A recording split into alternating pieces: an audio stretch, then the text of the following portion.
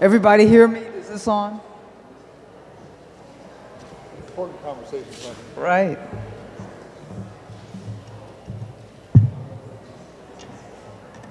We don't want to interrupt what I know are important conversations going on out there amongst you. And uh, again, just want to welcome you and thank you for being with us this afternoon. In this particular conversation and workshop, I am joined, I think they're good. Thanks, Ruth. Thank you.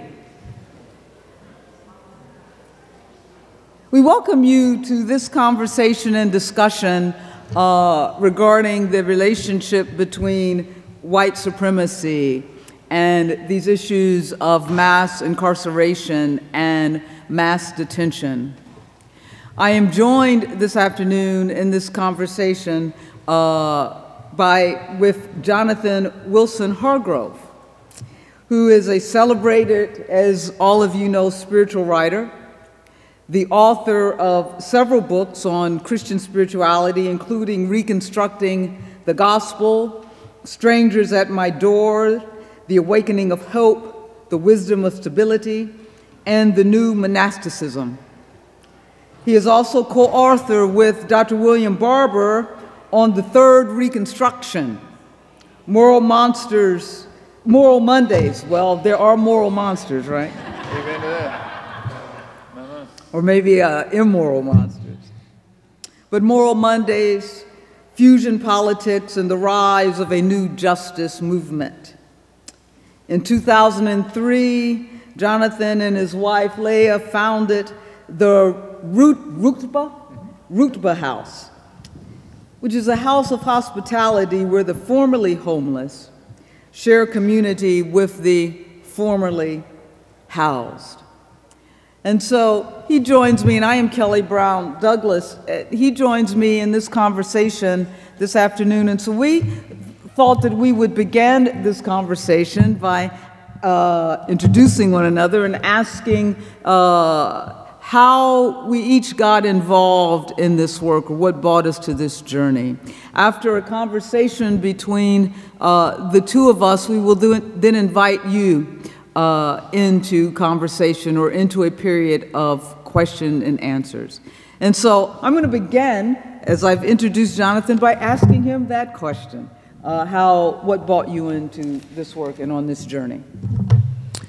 Well, let me begin by saying what an honor it is for me to be here with Dean Kelly Brown Douglas, whose uh, uh, work on the Black Christ touched me deeply when I first uh, heard you begin with talking about what you learned from Mama in that book uh, because it resonated so much with the gospel that really saved me uh, that I uh, learned from my spiritual mother in Durham, North Carolina, Ann Atwater. I think, uh, I think they drank from some of the same streams.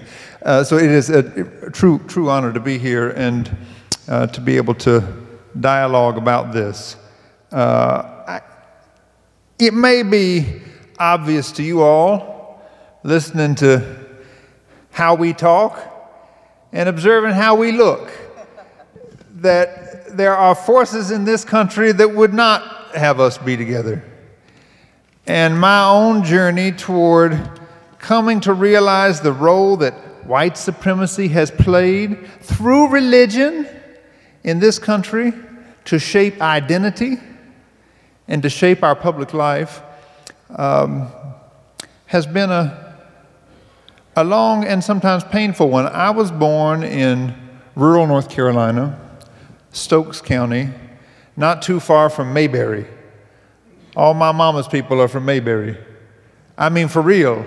My granny grew up with Andy Griffith. I was going to say, are a- you related to Andy and Opie? Granny grew up with Andy in a town called Mount Airy. Well, yeah. And when Andy went off to Hollywood, he did change the name of the town, but he didn't change the name of all the characters. So our only real claim to fame is that my uncle Otis was written into the story. He's the town wow. drunk if you haven't watched a rerun lately. So that's my people. And uh, we, were, uh, we were teetotalers, of course, because we were Southern Baptists, but we, we all knew Uncle Otis and others. And I grew up in a community that taught me earnestly to love Jesus and to memorize the Bible in the King James Version. So it was good enough for Jesus, it was good enough for us. We were sticking with it. And and you know, my birth was announced at the Southern Baptist Church where I grew up the Sunday after Ronald Reagan was elected the first time. Mm. The first Make America Great Again campaign, 1980. Uh, and so I grew up in this world where my people, rural, white, so we were told, rural, white, conservative mm-hmm. people. This is how we identified ourselves. And as I increasingly came to learn, how a lot of people invested a lot of money in us identifying ourselves. But a large part of my formation took place in that period of our uh, current American history when the religious right was beginning to uh, rise and to target faith communities like the one where I grew up as a potential base to sustain the Republican Party and to sustain it as a white party that connected the South with the suburbs of cities like New York and other places around the country with that sun belt that stretches all the way out to the West Coast. I didn't know any of this at the time, but that's where I was growing up. And in that context, the best thing I could think to do for Jesus, based on what I heard at church every week and what I read in the free literature that was available, because we didn't have a lot of public libraries where I grew up. The free literature you could get at church, you know, for a kid like me who liked to read, that was, that was gold. And all that stuff was published by these right wing organizations that were investing through Jerry Falwell's Moral Majority and increasingly the Family Research Council and all those groups that were organized through the Council for National Policy. That was targeted at people like me. And what they told me is that the best thing I could do for Jesus would be to become president of the United States. So that's what I wanted to do. And uh, I knew if I was going to do it, I had to, I had to do the long, hard work of climbing the political ladder. We were not political people. But you know, uh, Jimmy Carter had done it, and he was a peanut farmer. So I thought, well, I'll, I'll learn from him. So I got a book from the library and read about Jimmy Carter. And he had. Uh, he had gone to the Naval Academy. So I thought, that's, that'll be my start. And then I was just devastated to learn you can't even go to the Naval Academy if you don't have a recommendation from a senator. So I said, I got to get to know a U.S. senator. So my granddaddy drove a Greyhound bus, and we had a snow day from school. And so he took me to Washington, D.C. I thought you can find a senator at the U.S. Senate. Yeah. So we went, and I walked into the place you could go as public. You know, back then it was a little easier to get in. And I saw young people like me in blue blazers running around on the floor. And I asked a security guard, Who are those people? He said, They're Senate pages. I said, Like they work in senators' offices? He said, Yeah, they're your age. And I said, uh, I, gotta, I gotta get that. So, so I ended up, as a teenager, working in Strom Thurmond's office. Oh, my. Trying to begin to climb the ladder toward my uh, life of public, faithful service as I imagined it.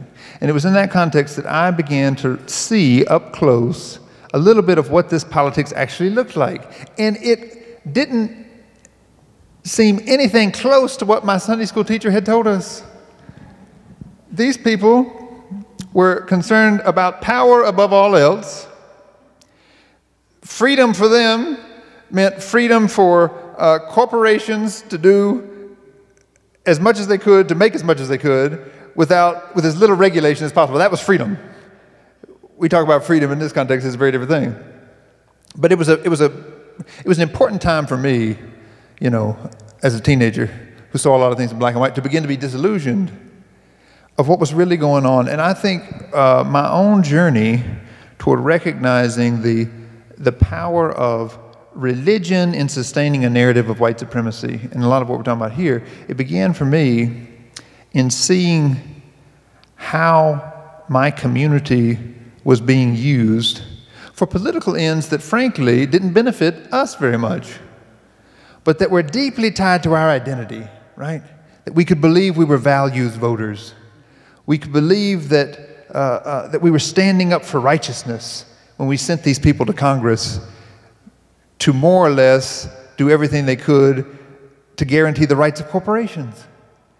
And, and, and I don't think, you know, as a kid, I could see that there was some contradiction in that. I don't think I could have found my way out of that if I hadn't, about that same time, met a preacher from my home state who happens to be uh, on the faculty here now, the Reverend William Barber, who began to introduce me to a very different way of being Christian in public. A way of being Christian that's probably much more familiar to you and your story. So let me turn from, from my own origins to uh, how, how about for you? How did you come to see the power of this narrative?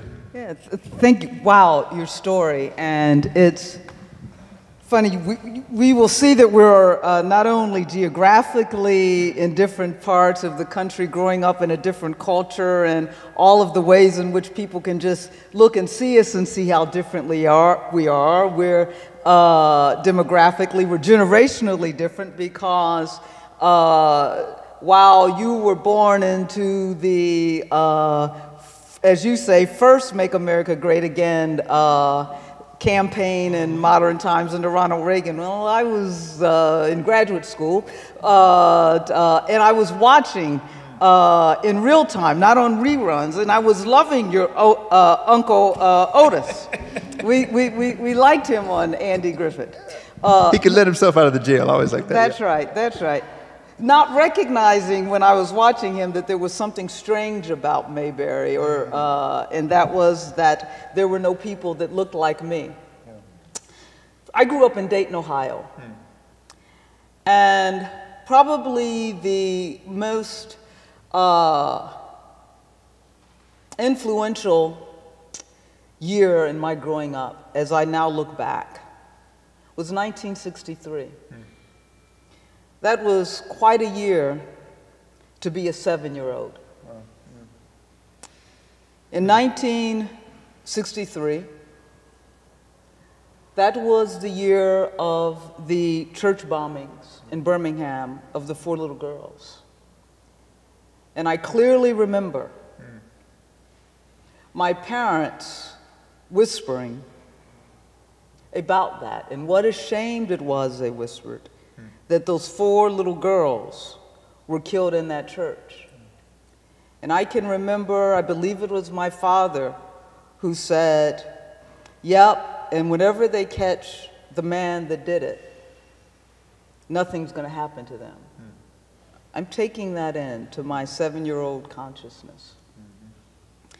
I remember watching on television, I didn't know what I was watching, but the dogs attacking.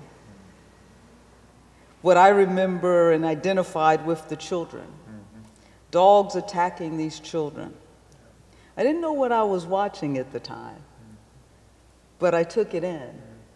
I now know today I, am to, I have a, a deep fear of dogs. Mm. And it no doubt goes back mm-hmm. to those images seared into my consciousness. I remember hearing my parents and other adults around me whispering. You know how adults always whisper because they don't, or spell, right?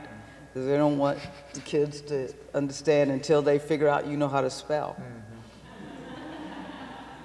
But I remember hearing the adults around me whispering about how awful it was mm. that this man was killed in his driveway in front of his children. And again, I remember hearing someone say, and when they catch the man that did it, mm. nothing's going to happen to him. Mm. I, of course, would later learn that that was Medgar Evers. All of these things are being imprinted upon my mind at the same time that there is unrest growing in Dayton, Ohio. Dayton was a very segregated city. And any time, remains very segregated. And any time you heard about the west side of Dayton, that was where black people lived. And it was segregated black and white. It was only black and white. Then, and the rest of Dayton was white. And so I, I remember that very well. So it was perhaps those things that were being imprinted upon my consciousness and in my memory as a seven year old that calls me to ask my dad, and I can see it as if it was yesterday. I asked my dad, I said, Daddy, why do white people treat us so badly? And in my seven year old mind, I thought that there must have been something that we did. At that time, we weren't calling ourselves black, so it was Negro, but something that we must have done as Negroes that caused white people to treat us so badly, because I couldn't imagine. And, and imagine that I'm thinking this, right, as a, as a child, that we did something. Mm. And I said, if we could figure that out, then we could stop doing it, and mm. white people would stop treating us so badly. Mm. So I don't remember what it was that my father said at that time. But that question stayed with me. And I don't remember if it was a week or a day or a month that passed. Hmm. But we're walking down out the uh, front door of my house, and I my dad and I are going somewhere, and, and I stop on the porch and I say, Daddy, I figured it out, as if we were having this running conversation. Mm. And dad goes, Figured what out? I said, What we did to make white people treat us so badly. And daddy said, Oh, what? And I said, Nothing. Mm.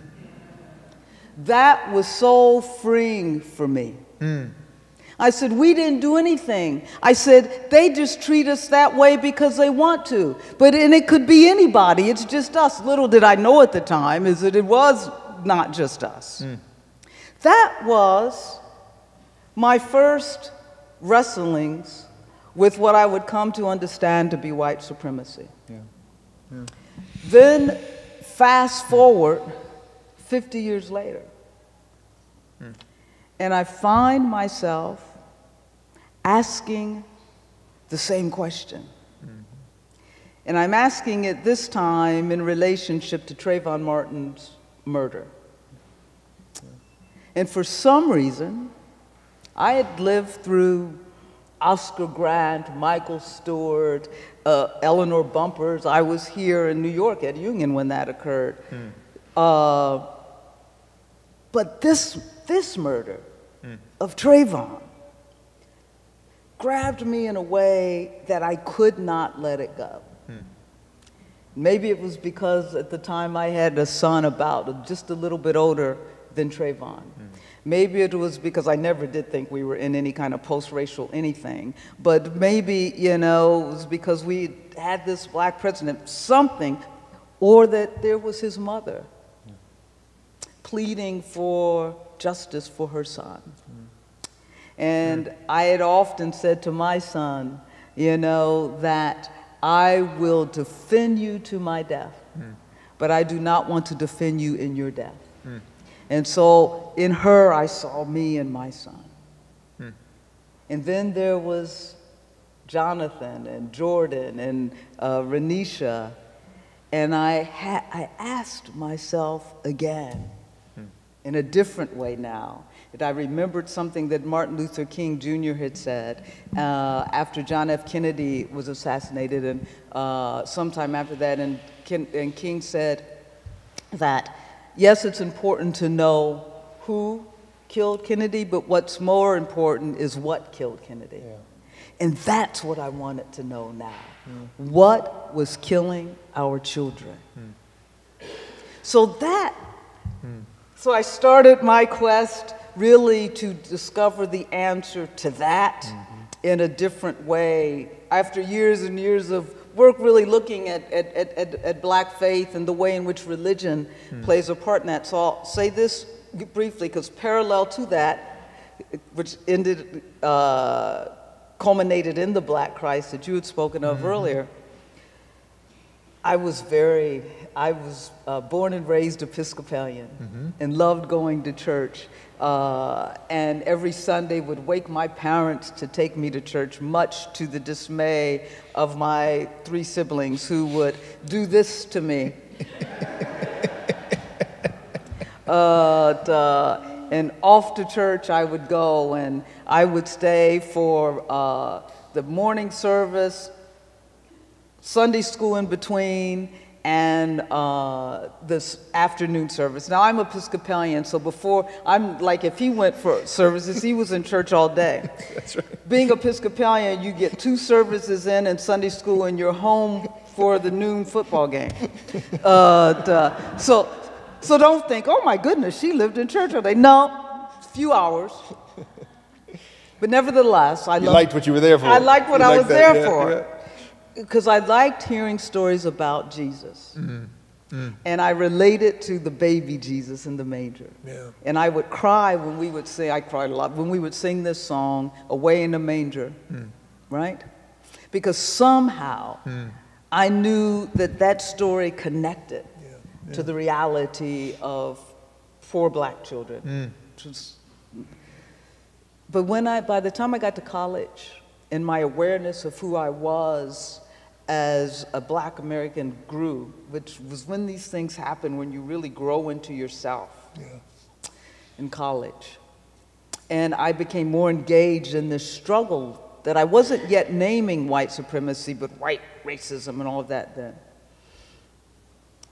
I had this sort of existential crisis. Hmm. And I wanted to know what Jesus had to do with it. Mm-hmm. And I said that if Jesus doesn't have anything to do with my blackness and my struggle just to be black without being attacked for that and to live fully into who I am, then I was ready to let Jesus go because I wasn't going to let go of my blackness. And if Jesus didn't have anything to do with the black struggle, then Jesus and Christianity could go. And it was at that time that I was introduced to James Cone's book, The Black Theology of Liberation, by a white man. And so I said, oh my God, either something's wrong with the book or something's wrong with the white man who introduced it to me. Because this book was something about that, right? Whiteness as of the Antichrist and God is black. I said, oh, Lord Jesus. And I read that book twice in one weekend. Mm. And what I discovered was that the book was introducing me really to my grandmother's faith. Yeah, yeah. And it was out of that that the black Christ that you spoke of emerged to more deeply understand that. So that's, that's my journey, and that's how I sort of got here uh, in the, this work that we do in trying to dismantle Yeah. uh, white supremacy. And so, as we talk about that, Archie, when, when we talk about white supremacy, what, what's that mean for you? Yeah. You know, hearing you talk about your faith journey, one of the things I, I can hear you saying in that crisis moment is white supremacy meant for you that if Jesus was going to take away your identity as a black woman, you had to get rid of him. You had to go. Yeah. And, you know, I had to come to a similar realization from the other side, right? That if the white Jesus that uh, uh, gave me an identity that was tied to this white lie, if that was all Christianity was, I had, to, I had to leave it too. Because it wasn't good news for me either that so that, that has been my own journey of coming to understand what, what is white supremacy in particular in relation to christian faith uh, white supremacy is a negation of christian faith right. that has operated through christian faith because you know that's what st augustine taught us about sin it's nothing a sin is a hole in a shirt right he said, God didn't create sin. You got to take a good thing and mess it up to have sin. That's St. Augustine's uh, definition of sin. But if you're, as I came to apply that to what white supremacy was, it was a hole in Christianity.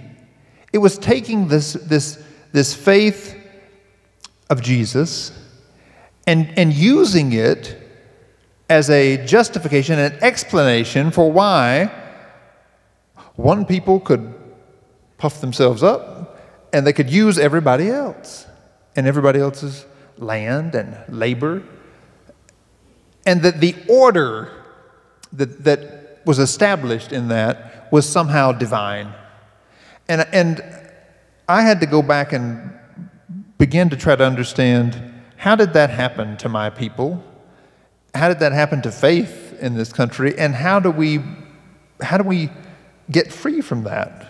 I, it, for me, it was a journey of coming to understand that what Frederick Douglass said is true that there is a difference between the Christianity of the slaveholder and the Christianity of Christ.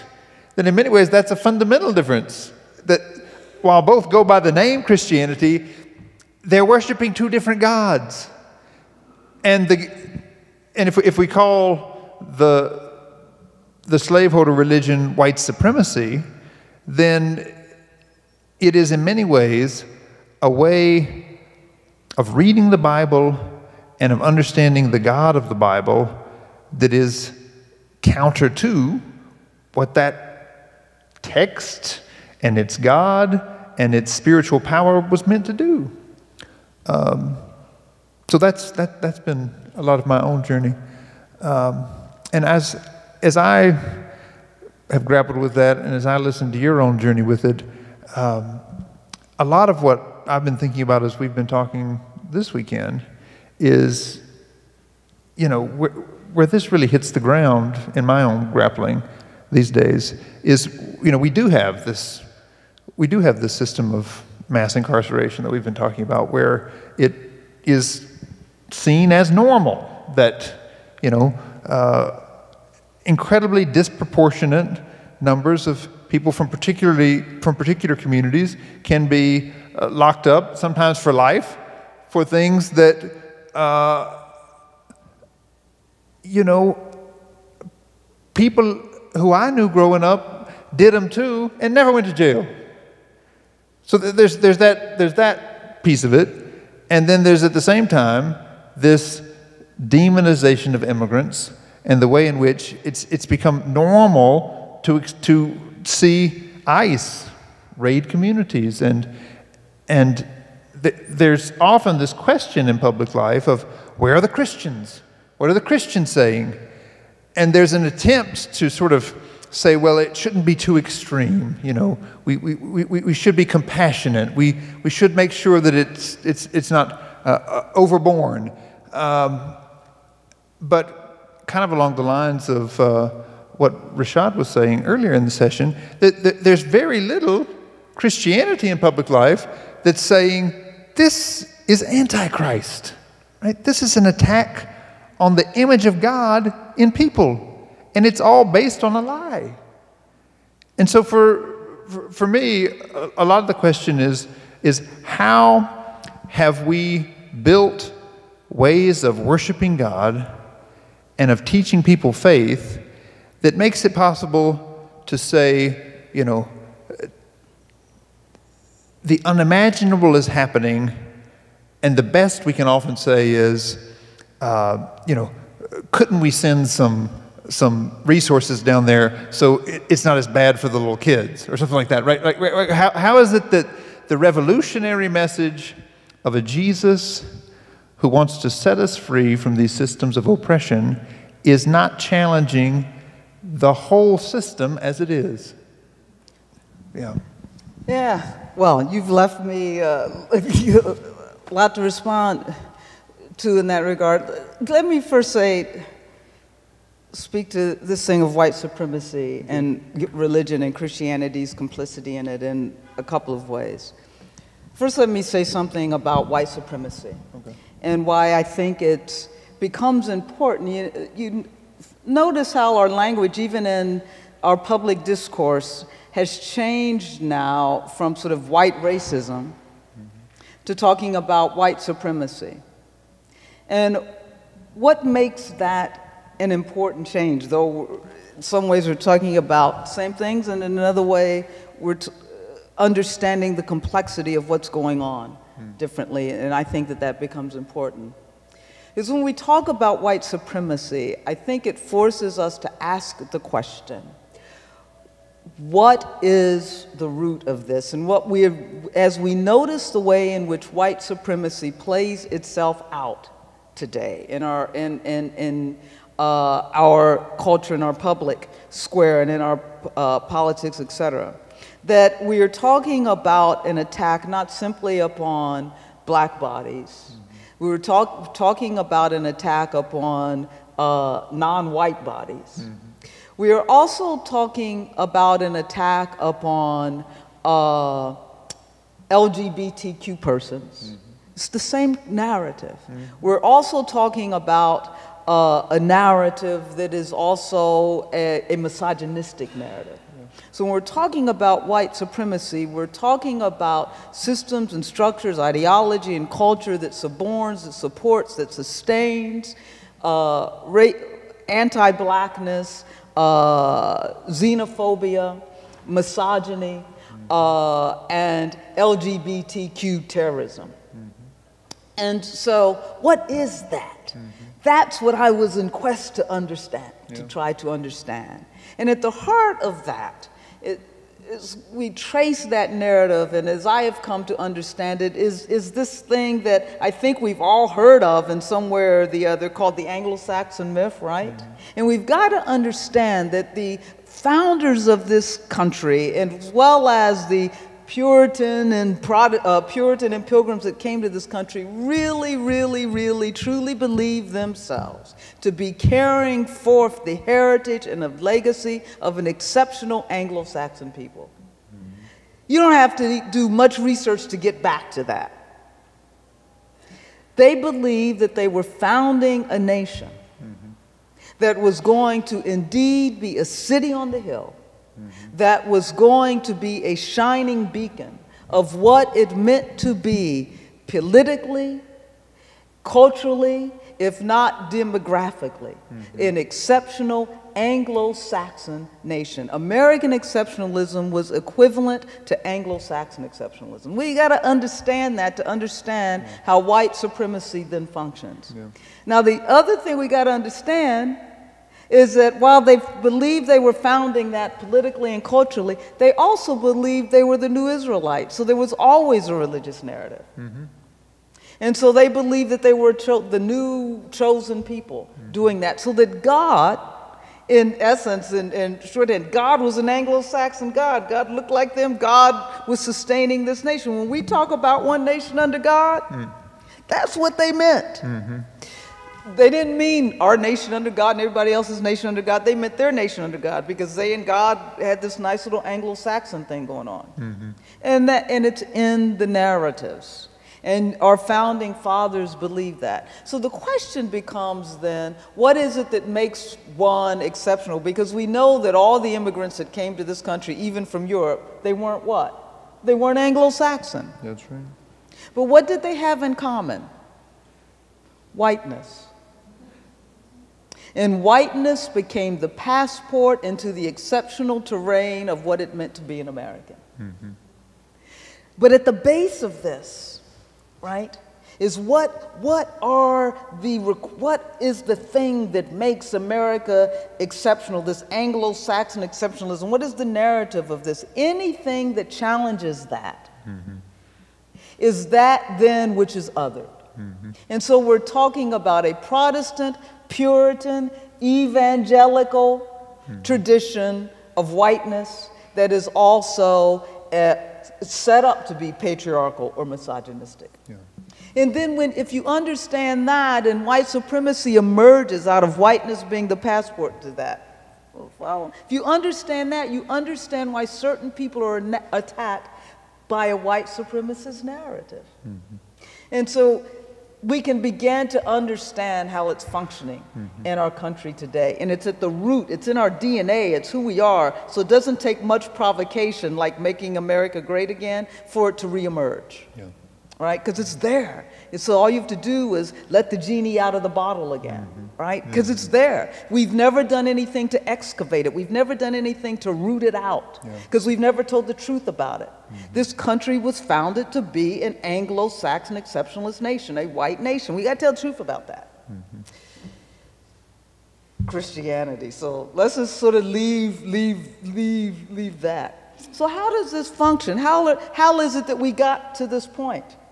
And how is it that we have allowed these things to go on and, and, and we act like they're normal, just as you've said?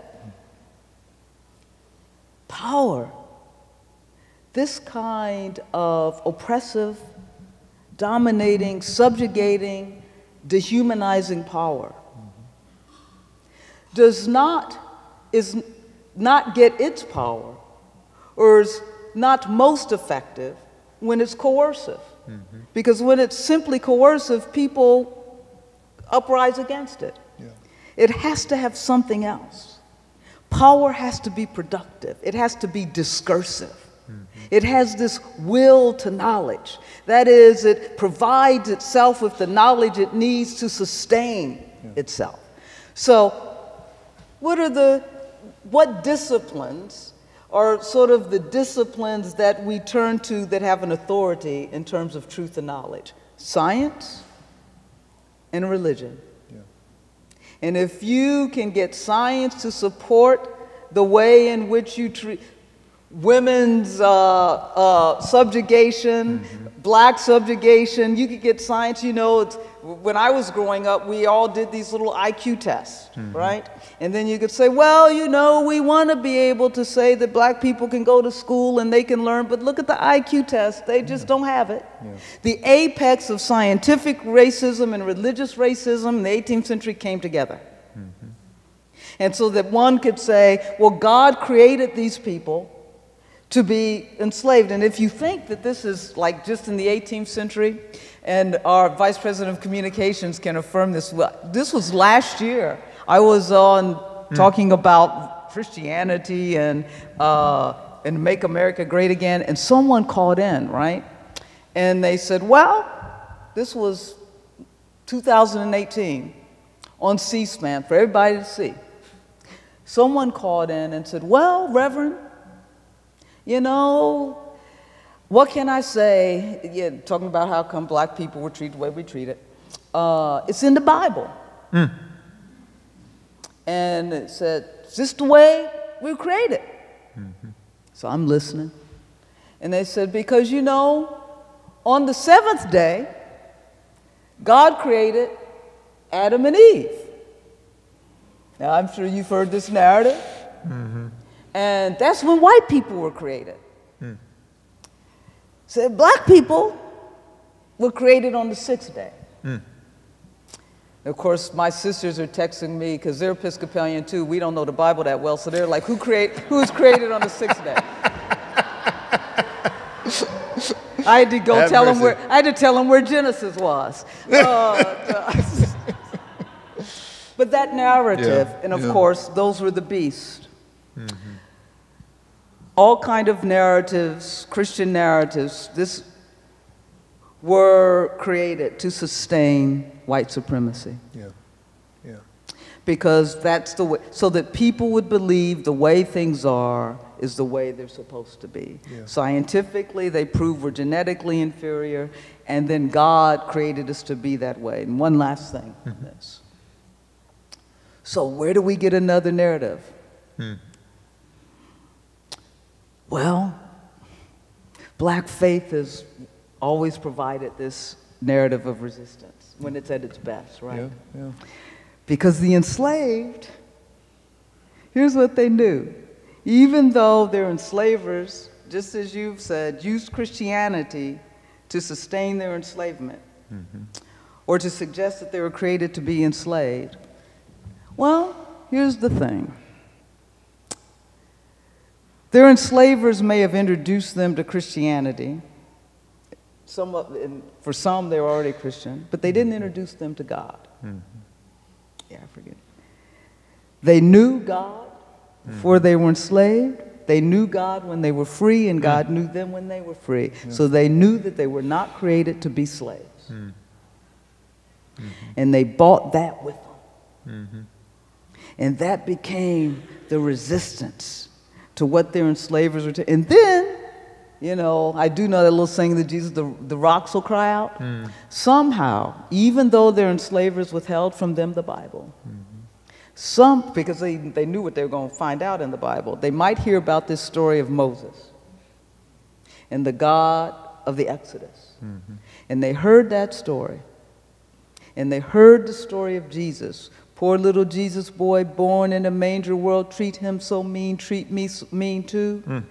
They uh, were you there when they crucified my Lord? They whipped him up the hill, up the hill, up the hill. Mm. They identified with that. Yeah. And they said, ah, that God mm-hmm. of that Jesus is the God we knew before we were enslaved. Yeah. And so the enslaved, as I always say, there were those who were born into slavery, who died in slavery, mm-hmm. never ever breathed a free breath, never dreamt that they would breathe a free breath. But they fought for freedom anyhow. Mm. And they fought for freedom anyhow because they believed in the freedom mm. that was the justice of God. Yeah. And that's the resistance yeah. to a narrative that says otherwise. Mm. Amen. Yeah, amen that. You know, I think what you were saying earlier about how scientific racism and religious racism have offered a kind of authority to this, to this power structure that we've inherited um, is so important. And I think sometimes in contemporary discourse, maybe this was a little a little more possible to believe in the Obama years. You know, there was a way, there was a way in which we, we talked a lot in public life about how the United States was secularizing, maybe looking more like Europe, and, and, and maybe those, you know, scientific ideas, uh, you know, that, that, that, we've tried to uh, unlearn and dispel, you know, the scientific, the, the, the sort of, uh, you know, measuring cranial sizes and, uh, and, and more recently IQ tests, but we've, we've been trying to dispel this within the academy. And I think there was some kind of, um, I think, liberal false hope that uh, if we could just get the science right, that we could leave the religion behind. And it seems to me that it's a painful reality of contemporary public life and the role of white supremacy is that religion has raised its head. This religion, this religious force of white supremacy uh, is, I mean, turn on the TV almost any weekend. You got Robert Jeffress, Franklin Graham, Paula White, whoever it is they call on to, to, to quote the Bible. And we know that, as the Trump campaign knows, that the only hope they have of another four years is this so called white evangelical base that can be turned out with this explicitly but see, racist Jonathan, religion. I want to say that religion never went anywhere. That it's always that that narrative has oh, yeah. always been there. Absolutely to sustain it, and and and what we're just and even as you talk about your first introductions, I mean, we had the moral majority, right, under yes, yes, Reagan. Yes, so we already saw that very visible reality yeah. of the Falwells, et cetera. But they were uh, already. But we wanted to dismiss it. Right, but they were already a part of a tradition. That's right. That was already functioning. Laying the groundwork all the right. time, all so, the time. So that's right. So that you, you escaped it, right, mm. Jonathan? But what about those? Not people? many get out. Let me tell you, right. I'm here to tell you, not many get out. That's right, and that's what I'm talking about. That base that we're talking about, they just didn't emerge. Yeah. And so there's already a religion that is all this evangel- Protestant Puritan evangelical tradition that is all is has been the prevailing narrative in this country. Yes. And and and so that has always been there. And so that even though people, perhaps some people are just recognizing it because it, it's the way in which media and internet and all of that function mm-hmm. today. But we wouldn't get here, we wouldn't be here in this situation in which we find ourselves that we have never really confronted mm-hmm. white supremacy the way we uh, need to confront it, that we still, it doesn't take much provocation for it to rear its head in such a visceral way, if indeed there was not always functioning, mm-hmm. this sacred canopy over that, and people are going into their churches every day yes. or every Sunday. Usually, these evangelicals go every day, mm-hmm. uh, to, and hearing that. Yes. And so it's always been there. I'm so, so I, I, you know, I just push back a little that it ain't new.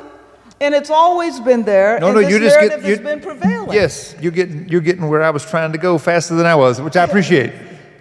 I I was simply trying to say that the public imagination that that was somehow something we could leave behind That's right. has now, I think, been somewhat disillusioned. I think people are aware now that re- religion is playing an important role, which I think gives us the opportunity to look at where you were pointing for hope as also a very concrete factor in American history. I'm thinking about Reconstruction, right? The folks who prayed for freedom, knowing that they might never see it in their lives, actually, in the South, there's a concrete history of what those people did in public life. Where I'm from in North Carolina, the first Freedmen's Convention was held in Raleigh in 1865. They elected J.W. Hood to be their president. He laid down the priorities. They were very similar to the priorities in other Freedmen's Conventions, where black folks came together in public for the first time in the South to say, you know, what do we want in public life? We want fair representation in the courts, right? We want the opportunity to, so equal protection under the law, opportunity to serve on juries so that that, you know, can be a reality. And we want to vote. That's what we want. And sent J.W. Hood to the legislature, where he became one of the principal authors of our Constitution in North Carolina, which we appeal to all the time in North Carolina these days because it's got some real stuff in it.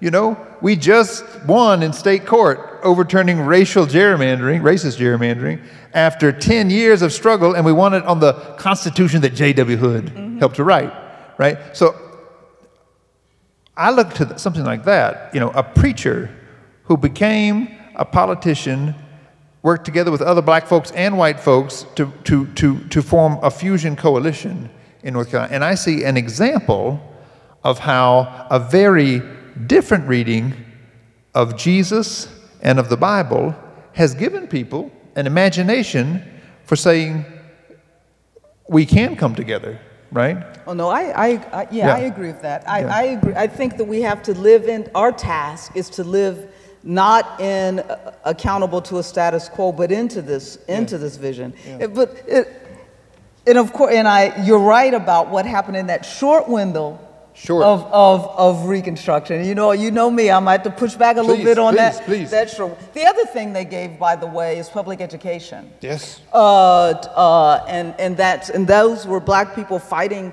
uh, uh, after Reconstruction, the uh, formerly enslaved fighting for education. And, and right. it was because through that fight, through that struggle, that we really get public education. And winning it for their folk and, and for mine. That's exactly right. My people were never educated that, before the war. That's exactly right. That's, that's right. exactly right. But then there's always this pushback. Yeah. Because Redemption. any, that's right. Any, that's exactly right. Yeah.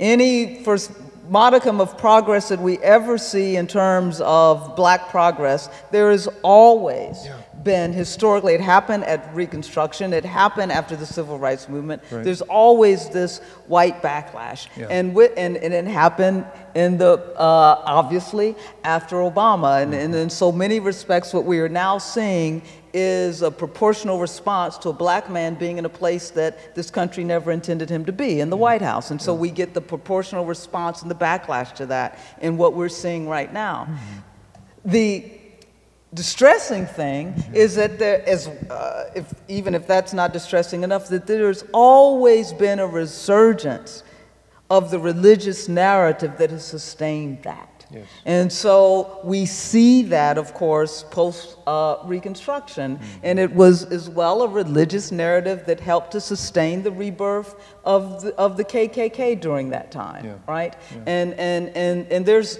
rituals and symbols. And so what, so I agree, what we, what we don't see as much on the public square is the counter religious, which I don't even say is counter, I'm with you, the, the, uh, the Christian narrative on that square Yeah. in a different way. And what is it? And my question, and I and ask you, what is it about? Because the evangelical right, if we want to put them in that sort of broad category, they're out there. Yeah. They're, they they know what they want. And they're going after what they want, and they have a large voice mm-hmm. on, on the public square. And, and I indict folks, where is the other narrative? Mm-hmm. You know, why aren't we out there? Why aren't we taking control of, of the discourse? Where is that narrative? Mm-hmm. It, it's, it's, that narrative, I think of Martin Luther King Jr., and we've romanticized that period of time with Martin Luther King Jr., because mm-hmm. it wasn't like America loved Martin Luther King Jr., and it wasn't like uh, Christ- Christian tradition, Christian churches loved Martin Luther King Jr. Right. All right, and so, it, and especially after he critiqued uh, the Vietnam War, it's everybody abandoned him mm-hmm. after that. But during the Civil Rights Movement, and we know mainstream faith traditions came together and wrote the letter that. Uh, precipitated King's letter from the Birmingham jail. So where where are we mm. uh, on that narrative? I so agree with you that we it's the faith community. We must take back the narrative. We must be the people standing in the breach, uh, as, as uh, Reverend Barber says, to begin to fight for a different reality, but we aren't there. Mm. So where are we? Why is that? Why is it easier for the evangelical right to coalesce and not us? So, one of the things I learned trying to pay attention to slaveholder religion in its origins is that the faith that developed quickly, the, faith, the faith that developed to prop up white supremacy in this country uh, did it by imagining that white people could be faithful to their, to their Christianity and keep enslaving people by believing that essentially salvation is about their souls, right? And, and, so you could baptize enslaved people because that was not in any way going to free their bodies. It was only going to give hope to their souls, which created the possibility of a Christianity that isn't politically engaged. And I think that is the form of slaveholder religion that we have received and passed on, often, you know, across all sorts of traditions liberal, conservative. This notion that, you know, faith is basically about you, how you're doing your family, and that's what we talk about when you come to church. And what's happening in public life, we, we, we separate those things. There's even a, a good bit of liberalism that does that, you know, that says we don't want to be divisive right? We want to hold the church together so we don't talk about some of these hard things in church. And I believe that the prophetic tradition that grows out of you know those folks who knew that God had raised Israel out of Egypt and Jesus from the dead, and you know if God delivered Daniel, surely won't He deliver me? That tradition says there's no way to follow Jesus without being political. Now we, we our imagination can't be captive to this partisan framing, left right framing that we're so often given. No, it's got to be broader than that. But it's got to be political. It's got to be about people in cages. Not just when, you know, the Trump administration is doing it at the border, but this has been going on for a long time. This is what we're talking about. So we, we have to reclaim a faith, and that's where I'm always looking, whether it's Reconstruction or civil rights movement or the labor movement or you know the sanctuary movement in the 80s wherever it is where is the faith that has come together to say we've got to be in public the good news for what this other side that you were pointing to is just propping up? Let's uh, I see questions let's continue this conversation with our friends in the room yeah. What, what does this bring up for y'all? There's a hand in the back there.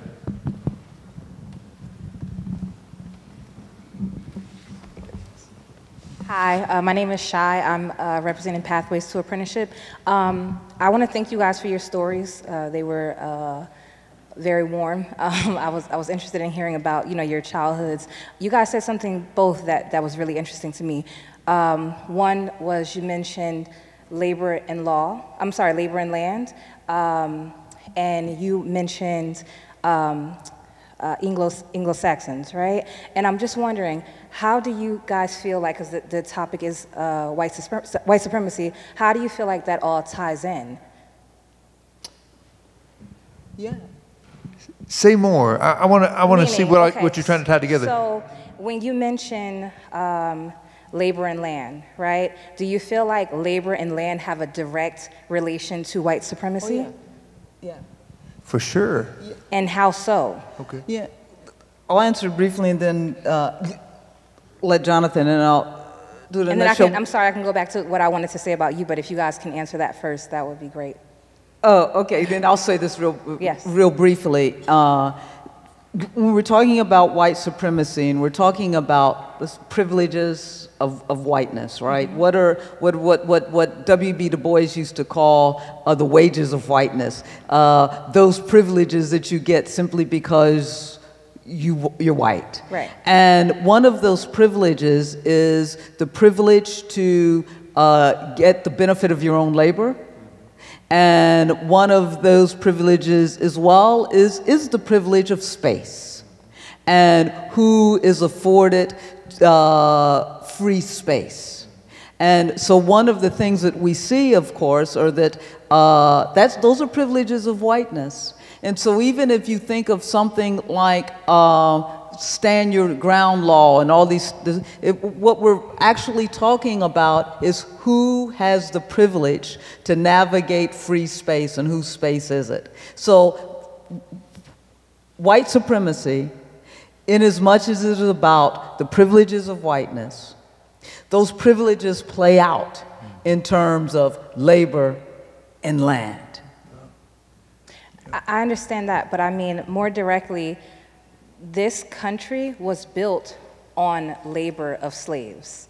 So, would it when you bring when you say that um, when you say that we were founded off it being uh, Anglo-Saxon, doesn't it seem more like the reason that they brought blacks here was just to have the labor? I understand the free space and all that, yes. but the Yes. labor without without the labor, because if, if they were bringing blacks here, uh, wh- why would you bring blacks here if it was supposed to be an Anglo Anglo-Saxon?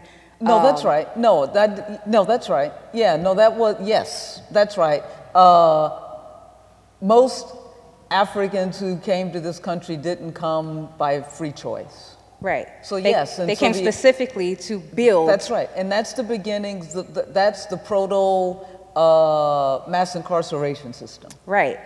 And, and that, that's actually what I wanted Uh, right, to free labor. reference when we're talking about mass incarceration and we're talking about white supremacy and we're talking about labor and land. Right. There, the one connection is through mass incarceration, through slavery, it was all for labor.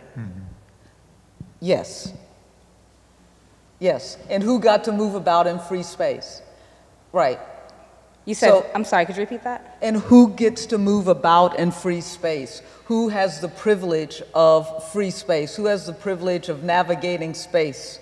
And, and so mass incarceration, it, labor and land go together. In as much as it is about free labor, it is also about, which is always connected, who has the right to move about freely? Who has the right to space?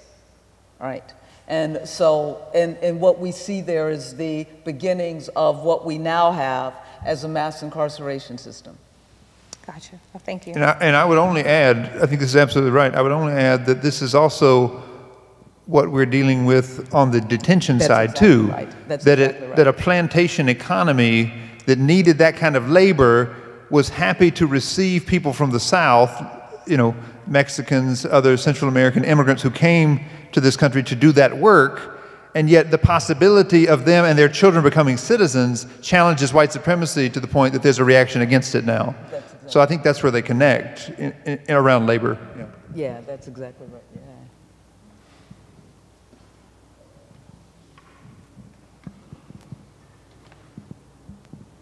Uh, hey, and uh, thank you all for being here. Uh, my name is Jim. I'm a first year MDiv student here at Union. Um, I just I wanted to go back to sort of how you closed, uh, Dean Douglas, and and talk about the the church's role. Um, because I think, you know, we mentioned that we're, we're not seeing uh, the church or Christians, Christianity responding to uh, you know, what the right is doing with uh, the religion, so to speak. So, you know, a little bit more about why are we not seeing the, you know, it's funny, not funny to call it the alternative narrative because it's the narrative. That one is the wrong narrative. Um, why are we not seeing that? And, and if it does exist, why aren't we hearing about it? You know, it, it may be in, in books, but it, it certainly doesn't seem to be playing out, um, you know, in public media or in other outlets. We don't seem to have a Martin Luther King, uh, you know, that we're seeing on TV every day. There's not, you know, there's not that kind of energy, it seems, behind it. Yeah, and I, it helped me out here. First of all, you know, there are people obviously standing in the breach and doing the work. Mm-hmm.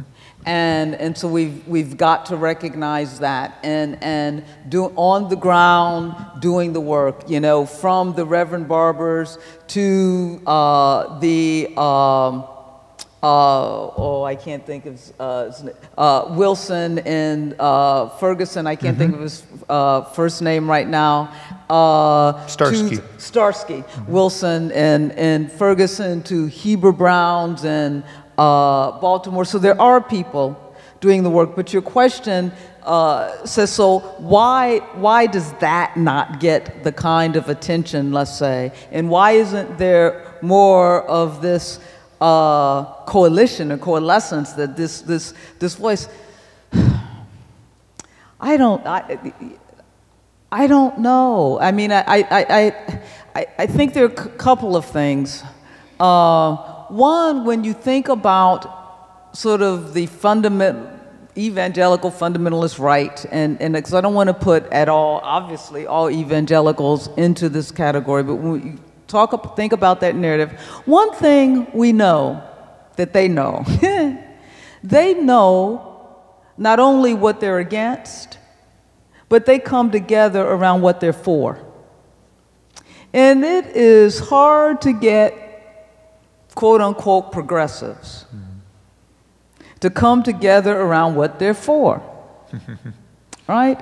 We can, so we're always, it seems to me, we tend to be more reactive than proactive.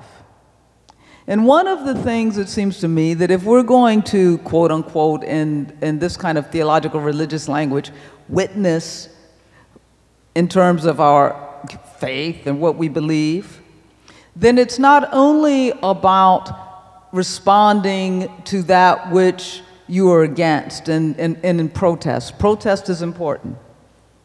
But it is also embodying and putting forth what you're for. And that's often a little harder because there's more risk and all of that involved. We don't do that well. Uh, uh, what we do well is we react. But it's time for us to begin to put forward a different kind of model of the way that we can be. In terms, so, so that's one thing.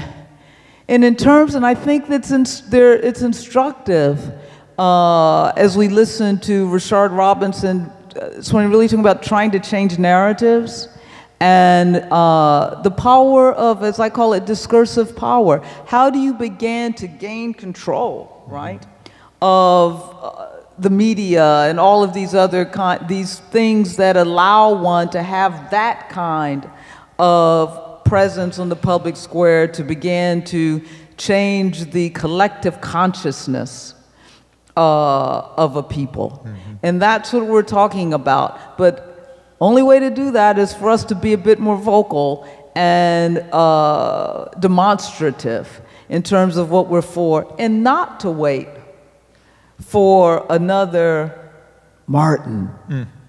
Because if realities change from the bottom up, if, if, if subjugating power trickles down, change radiates up. Mm -hmm.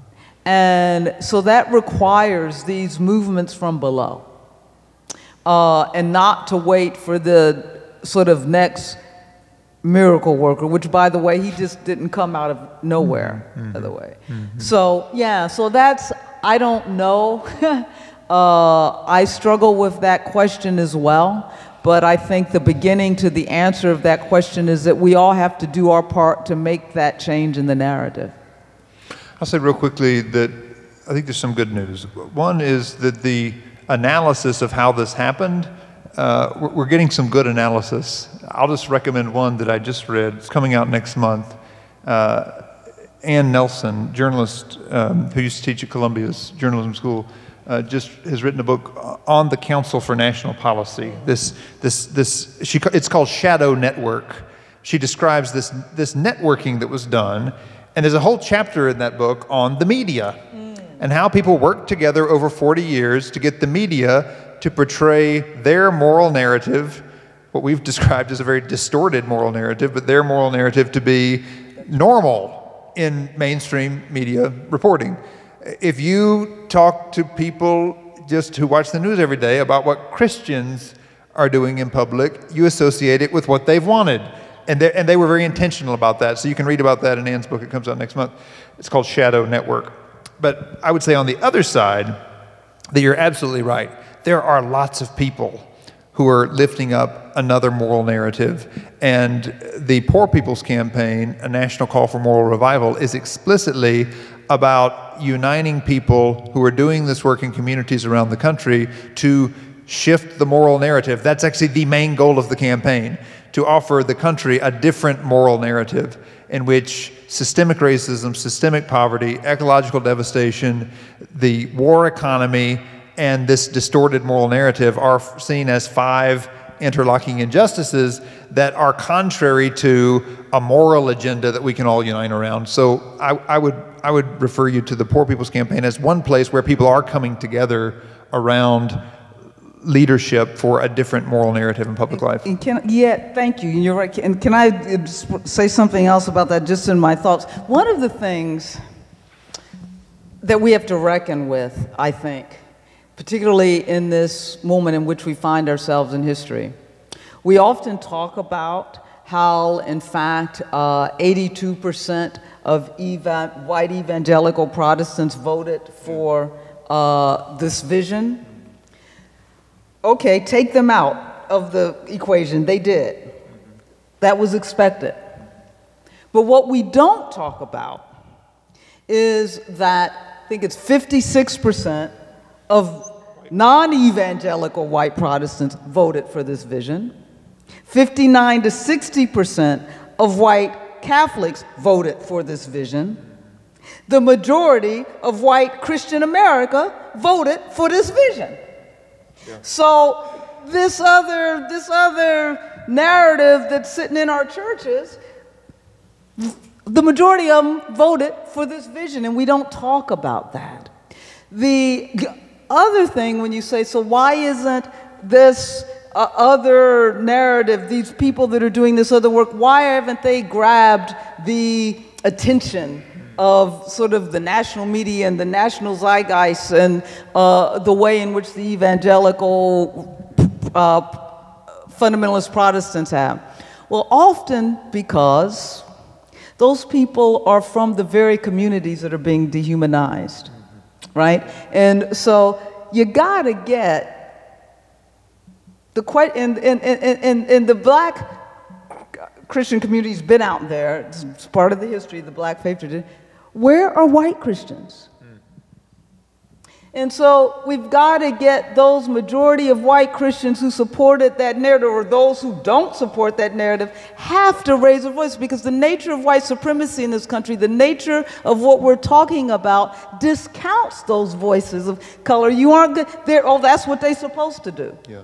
Right? So we've got to get this other community, this other white community of Christians woken up, or is, is that a word? Uh, awake. Yes. And to, to claim their voice yeah. on the public square. And then you might begin to see that change. But as long as it's folks like Barber and others who are doing it, well, that's what they do. Mm-hmm. And so you've got to get, get that, and we've got to change the way we understand who it was that supported and is sustaining this vision. Mm.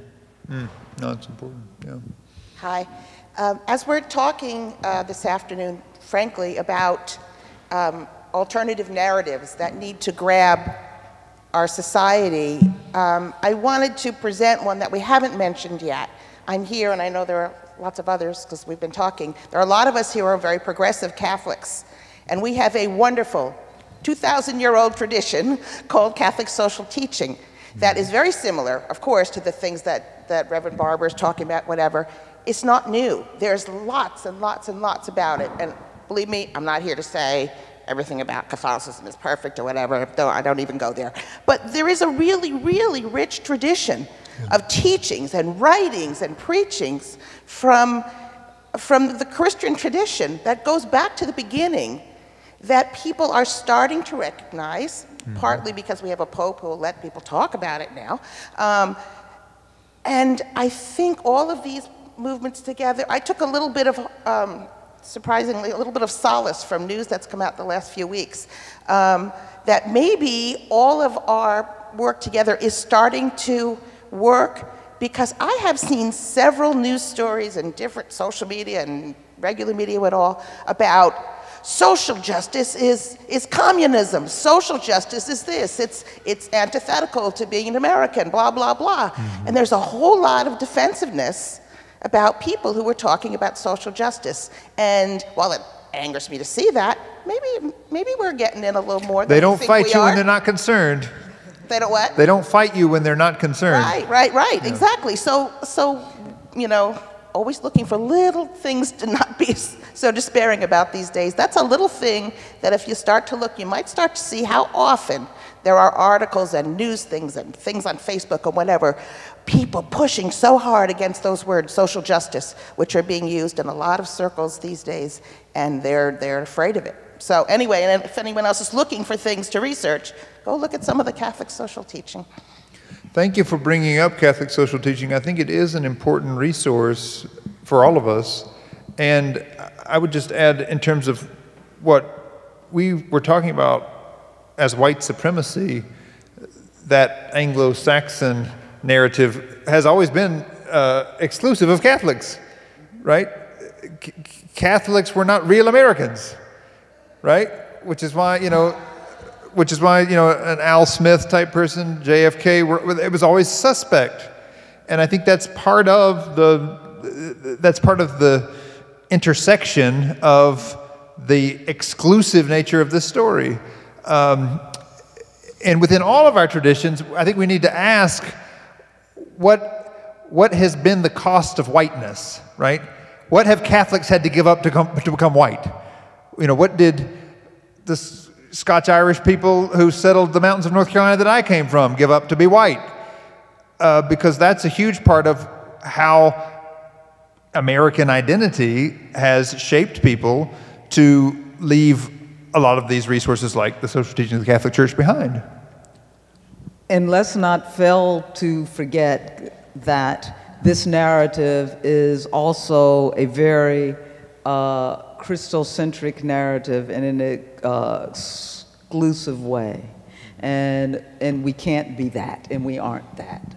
Uh, uh, and that is, so it negates the religions of those who aren't a particular kind of Christianity, and it negates the uh, value and worth of people who aren't Christian. Yeah. And so it uh, is a narrative that discounts other faith traditions, uh, discounts uh, Jewish traditions, obviously Islamic traditions, and others. And so this is uh, a xenophobic narrative, an intolerant uh, narrative. That's the way this narrative plays itself out, and that's why it's important to understand that we're talking about uh, sort of at this evangelical Protestant Puritanism mm. that is at the root of what we're seeing today.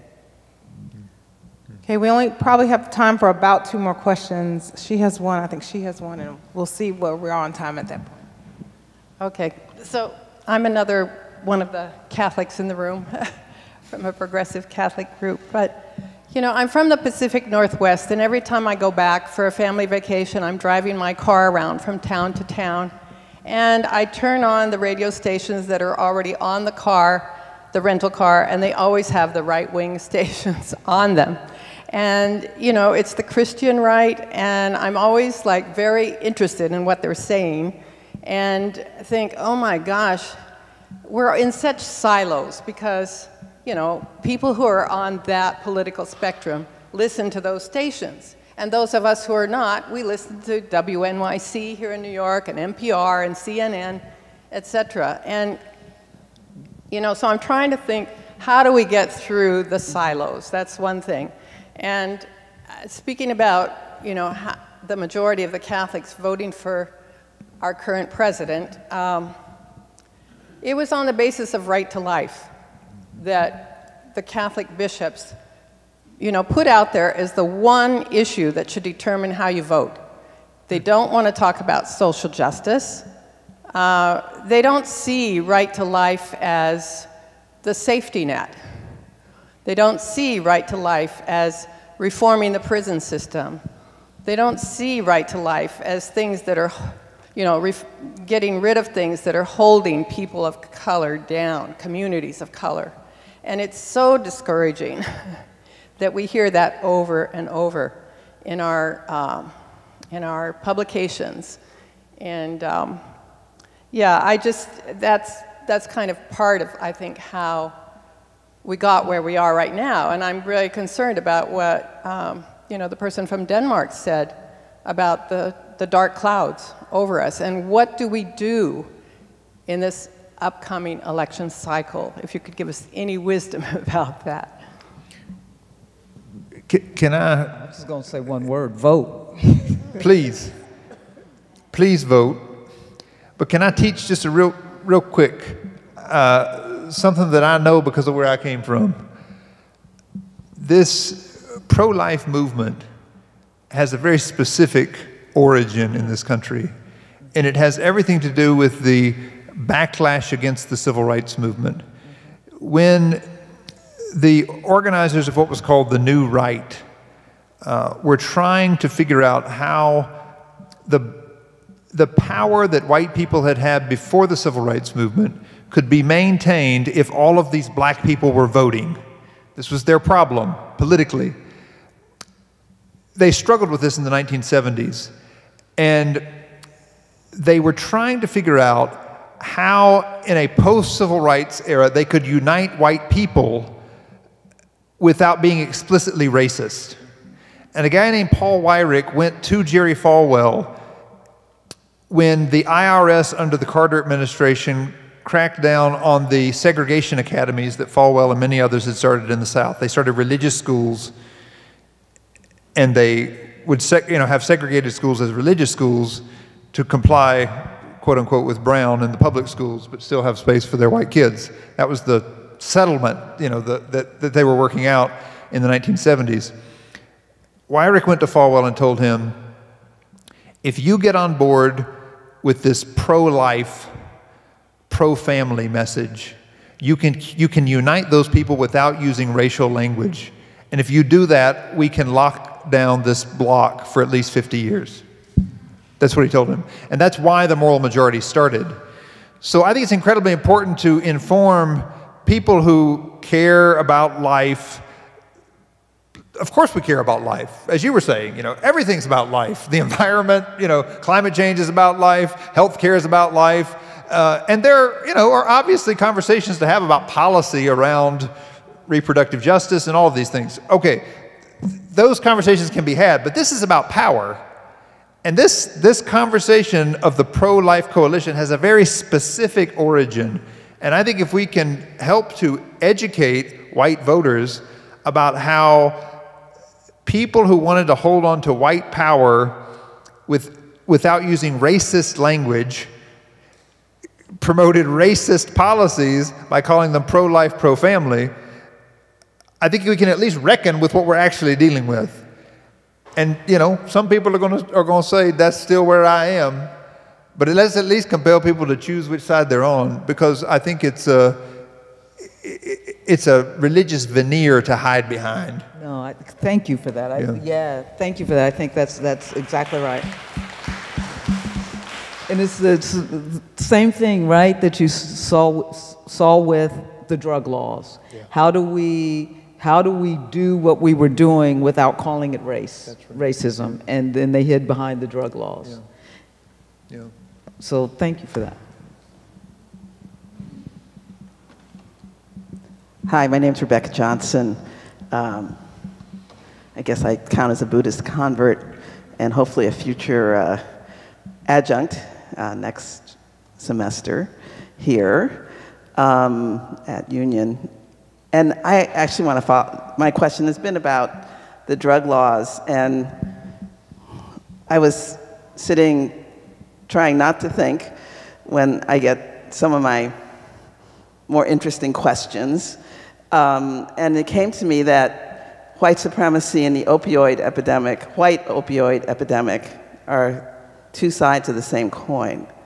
And I'm not sure like what that means in my mind. I've been struggling, I used to teach history of healthcare in the United States, and I have been struggling with how to understand um, the react. I understand the reaction, but how to describe it, um,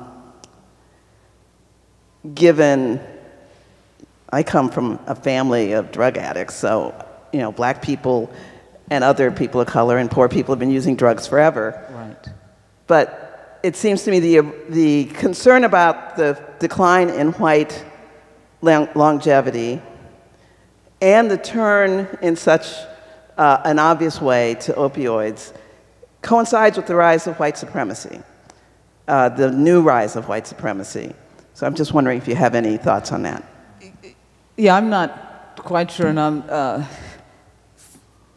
what you're asking or what you're getting at. I'll, I'll just say yes, there are connections, but two, obviously, in what we're seeing, one, uh, and uh, Rashad Robinson spoke to this a little bit. We've got to, you know, we're talking about powerful drug companies, capitalism, knowing what they're doing to make money, uh, and putting these drugs into communities. We're talking about preying upon already uh, downtrodden uh, and dispossessed communities, uh, and in this regard, even poor white communities we're and so we know that it got much dispossessed people and uh, have more in common than uh, that crosses across these boundaries of race. We recognize it. So, but you have these powerful drug companies making money just like uh, prison companies make money off of prisons, making money off of uh, drugs, and we see what it's done to people. But we also, and not a but, and we also know that depending upon whose bodies are being addicted to uh, the drug, that uh, in which communities are being uh, impacted by the drug depends upon how we respond to the addiction. So whether we're responding to it as a health crisis and a health emergency, or whether we're responding to it as uh, criminality, a crime. And so we're responding to this crisis as a health crisis, even to the point of, you know, producing things to help people who might OD on it, right? And nobody was doing that in Harlem uh, or anywhere else. And so all of this, uh, and so people, we're now responding with treatment as opposed to incarceration. Uh, but we're talking about the same things that bring people into being vulnerable to addiction. We're talking about the same powers that get people addicted, but we're talking about different communities of people who are being addicted. And so, and, uh, and when we look at who those communities are, then we can pretty much predict what the response is going to be, if it's going to be incarceration or if it's going to be medication. Uh, yeah, and I, I think it just in terms of the very different response you see in public, it has everything to do with representation, and that has to do with that, you know, map that Donald Trump loves to show of these spaces that are imagined as red. But, uh, you know, that's only slightly coded as white. Uh, I think the, the demographic shifts that they are extremely afraid of is that those places are not nearly as white as they used to be. Go to them. We've been going to them all over the country with the Poor People's Campaign, and uh, uh, whether it's the Midwest or the Deep South, I mean, the, the, the voting population might still be majority white, but a lot of these places are not majority white anymore. And that means there's the potential for, I think, a new kind of coalition in those places, and that and and healthcare has to be, public health has to be a part of that coalition, right? Black, white, and brown, poor people in you know all sorts of places in this country have a lot of interest in coming together uh, around having representation that would respond to their actual needs in those communities. That's right. And so I think I see the wrap up and exactly and in response even to that, what do we do? It is about representation. We need to be vigilant about what's happening with the census. And we also have to be vigilant with what's happening with the disenfranchisement of peoples so that peoples in those areas in which you're talking about are not able to vote. Uh, and that's how they can control uh, the majority that is actually a minority. Uh, thank you, thank you. Thank you. Bless you. Bless you.